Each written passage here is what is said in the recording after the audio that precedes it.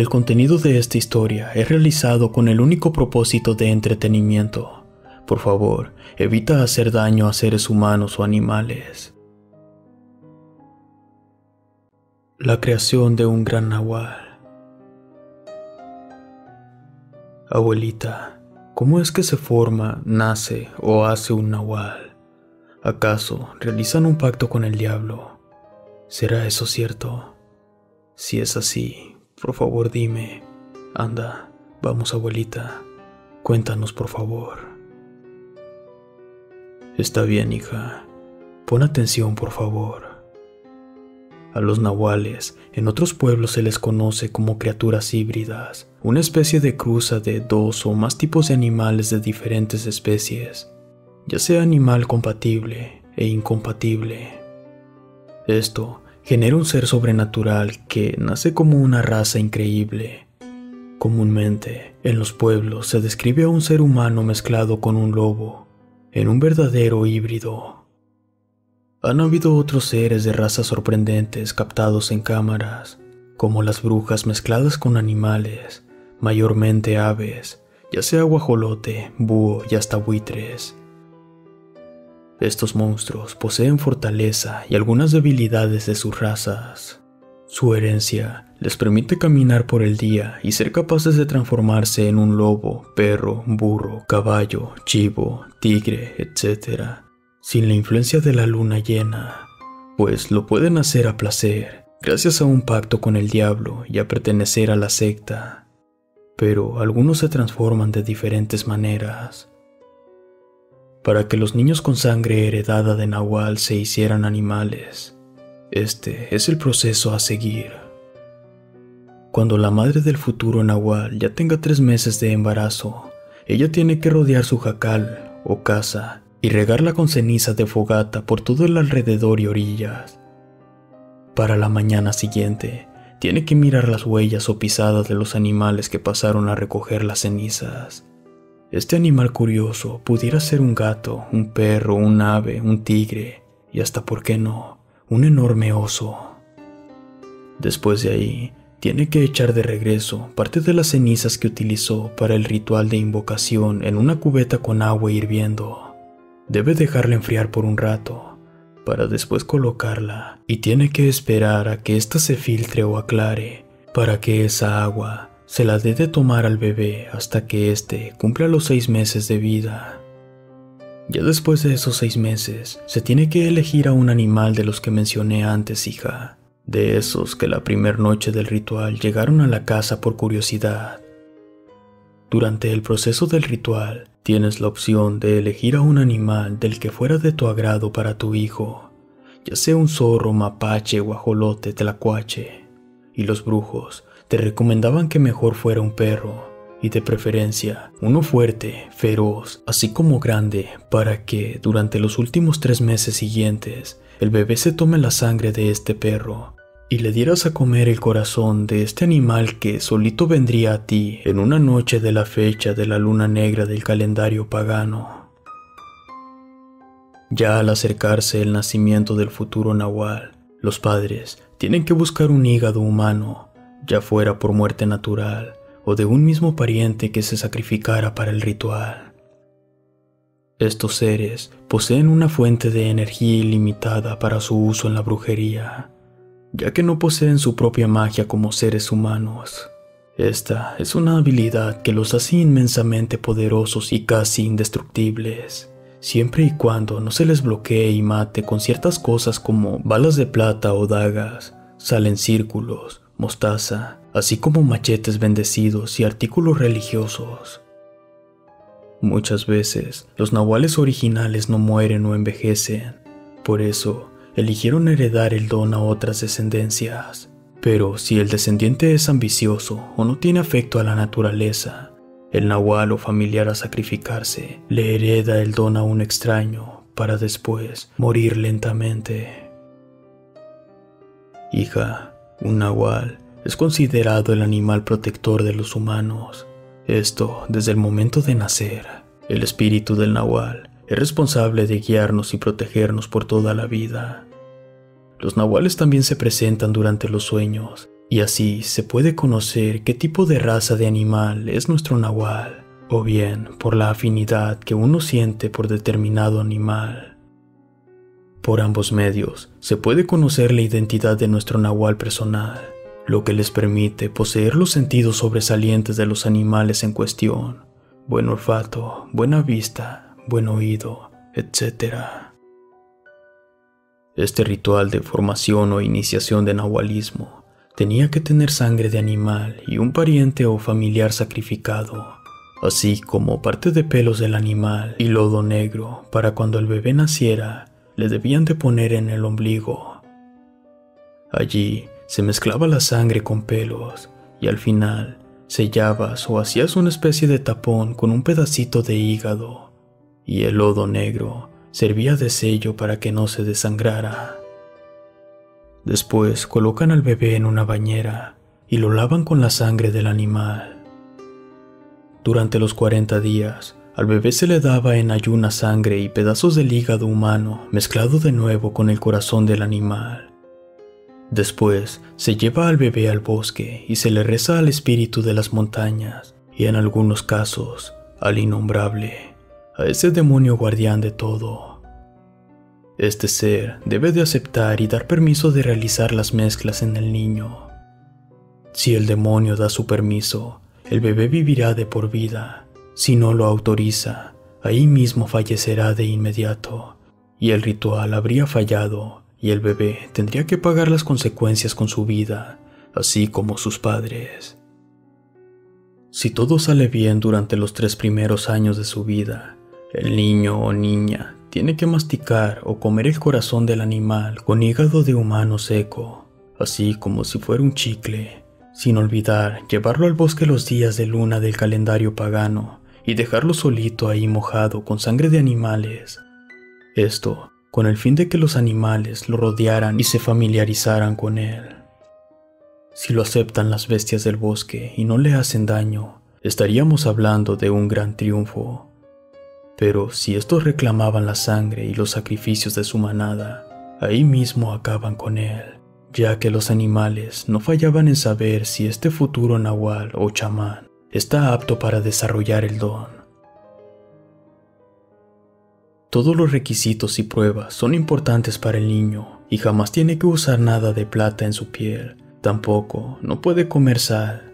Esto está prohibido y tiene que irse preparando psicológicamente en una cueva para cuando llegara el momento de convertirse en el animal elegido, se desarrollara y adaptara conforme a la naturaleza y al medio ambiente.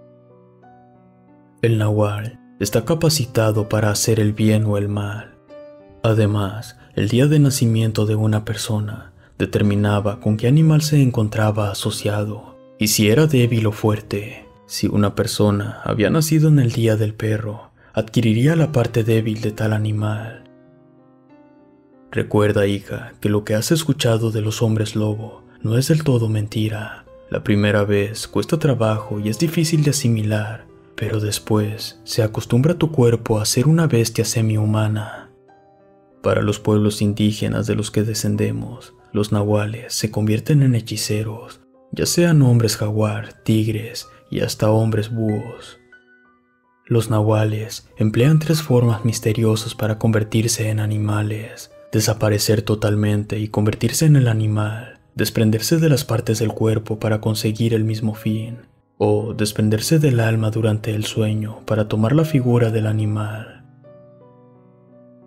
Varios campesinos y testigos constaron la existencia de los nahuales, ya que aún prevalece en numerosos pueblos indígenas de la actualidad la relación de estos impresionantes seres con la mutación híbrida. Señor Chemo San Juan, después de que terminara mi abuelita de contarme todo eso, se fumó su tabaco y ya casi por finalizar, le pregunté, Abuelita, ¿por qué sabes mucho y eres tan inteligente? ¿Acaso tú eres un nahual? Recuerdo que por preguntar eso, me dio un garrotazo con un madero y luego me mandó a darle de comer a las gallinas. Muy nerviosa, ya jamás me contó nada sobre el gran nacimiento de la bestia. Ahora entiendo por qué yo no necesité de ese ritual. Era porque nací con la sangre heredada de Nahual y no desaprovecharé este don. Lo usaré para ayudar y tratar de proteger a los animales, humanos y bosques de los otros nahuales que vendieron su alma a Satanás. La persona que nace bajo el don del nahualismo y no toma en cuenta esto que digo, será perseguido por sus faltas y pecados hasta la muerte.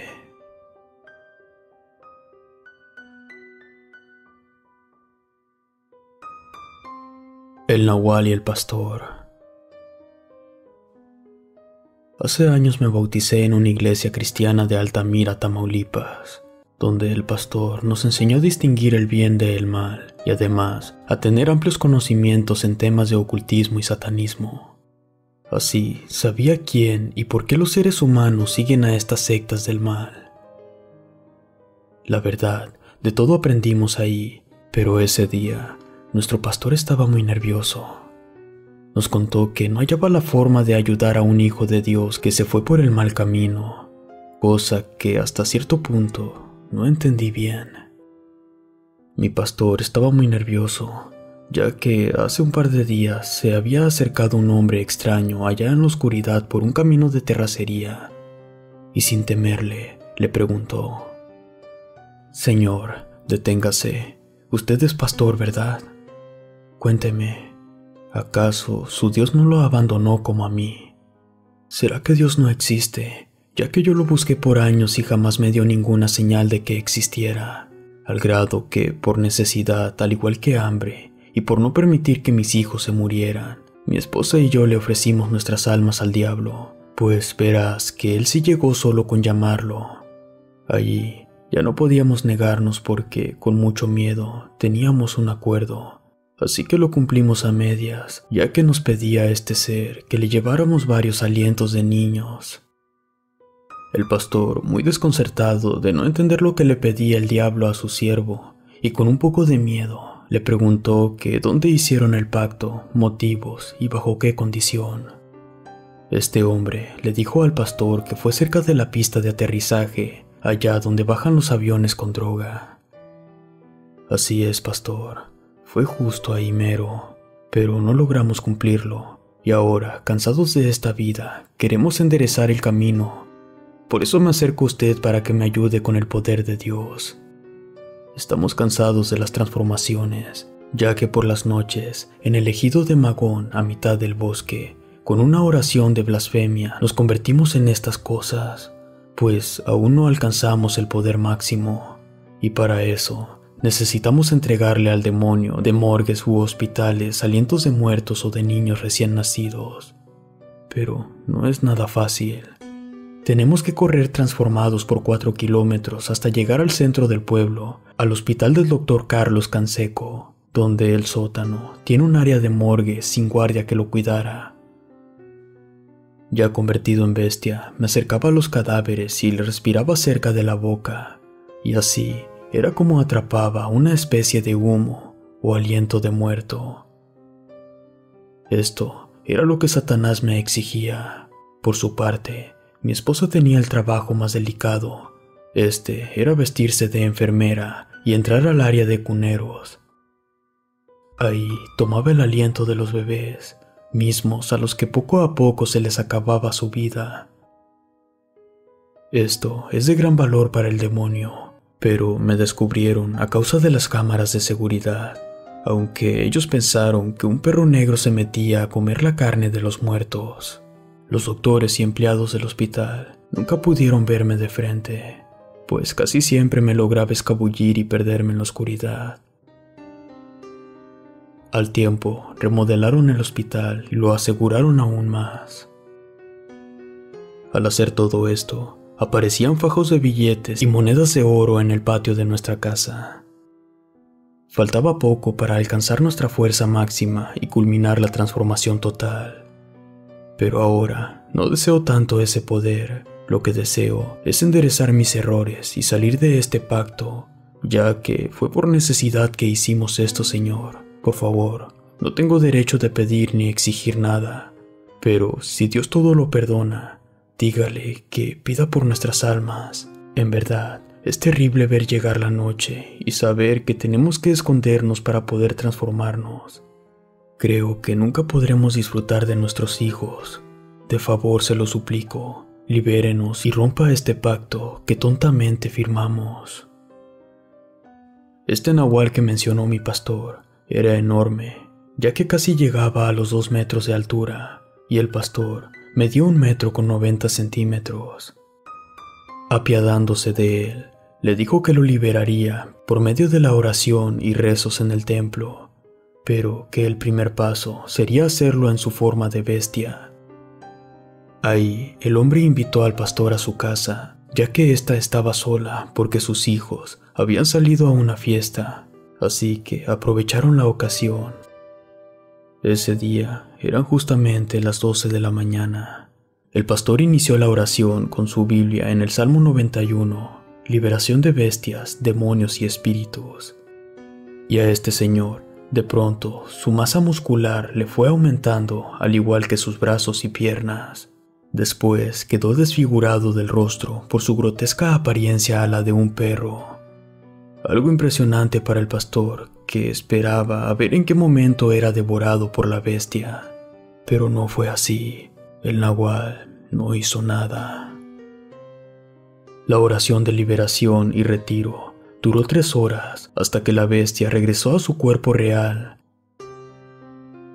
La esposa estuvo presente en todo momento, pero no hubo necesidad de verla, ya que el pastor estaba convencido de que no era fácil pero aún así los ayudaría. Al salir de la casa, fue escoltado por estos dos seres, esto para que no hubiera represalias o fuera atacado por otras bestias. El pastor llegó con bien a su templo. Desde ese día, mi pastor nos ordenó iniciar con la oración de liberación para tal familia. Y así fue. Al mes siguiente, se escuchó en el pueblo que ya no se acercaba a los cadáveres el perro negro y que ningún bebé perdía la vida. Y poco a poco, todo esto quedó en el olvido. Y después de pedir a Dios por cuatro años por estas arrepentidas almas, un día el pastor se volvió a encontrar a este hombre por el camino. Y éste le dijo, Pastor, gracias a usted mi familia y yo ahora vivimos tranquilos. Estamos en deuda con usted. Espero en Dios que el demonio no me busque y se cobre la deuda. Y es así que Dios nos ampare. Mil gracias. Este hombre fue el terror de Altamira, Tamaulipas.